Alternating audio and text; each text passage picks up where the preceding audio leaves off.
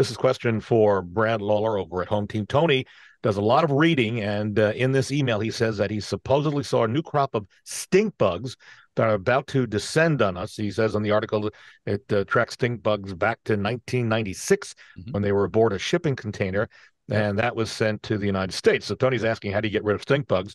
And is there anything you can do to prevent them from coming into the house, Brad? All right. So great questions. Yes, they haven't been here all that long. They are what are called occasional invaders. So we only see them periodically throughout the year. The best way to handle removal of stink bug is to just remove it, meaning vacuum it up, flick it out the door, whatever. I mean, if you squish them, they do they can give off the odor, which is where they get their name from.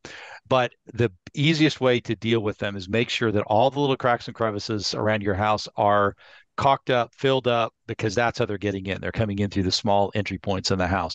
They don't breed. They don't um, breed in the house themselves. Yeah. They are staying within the walls. Yeah. So they go outside to to lay eggs. So that's one good thing about them. Um, but they're there, and you know they they keep getting in. They keep coming back into the walls as long as you've got all those little cracks and crevices that are are open to them. Um, sprays aren't particularly effective. I mean, the most effective tool for stink bugs is a vacuum cleaner. Quite frankly, vacuum what do they do? You just you. What's that, Chuck? What what do these bugs do? I mean, do they, they damage do, the house? No, they don't do. They really don't do anything at all. I mean, not for the way that they invade our houses.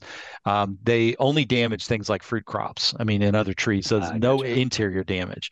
So really, yeah, you vacuum them up, you take the bag out, uh, you know, seal it up, and put it in the trash can. That's the that's the best way to do it. There are sprays that you can put on earlier in the year around the house to kind of be a have a repellent effect for them, but yeah, it's mechanical um, repairs, the blockages that you need to uh, focus on.